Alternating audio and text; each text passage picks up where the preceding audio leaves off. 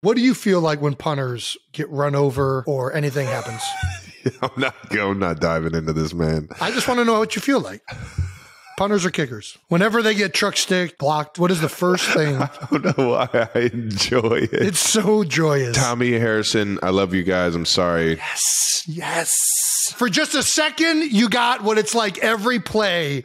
That's what you got. I love Jon Dorenbos, long snapper. There's a clip on my phone of a New Orleans Saints D lineman just picking him up, and you just see his feet kicking. It's the closest thing as if they allowed just anybody to go out on the field and suit up for a snap. He's sitting in a chair that's too high off the ground. He's Fred Flintstone in the middle of the air. Vicious maneuver by the D. I mean, he wasn't trying to block the kick at all. No regard for the football. I'm just going to be a complete bully. I'm going to find the guy who can't defend himself, and I'm just going to completely demoralize him. I'm gonna go after the guy who's looking between his legs. And you know what? I loved every second of it.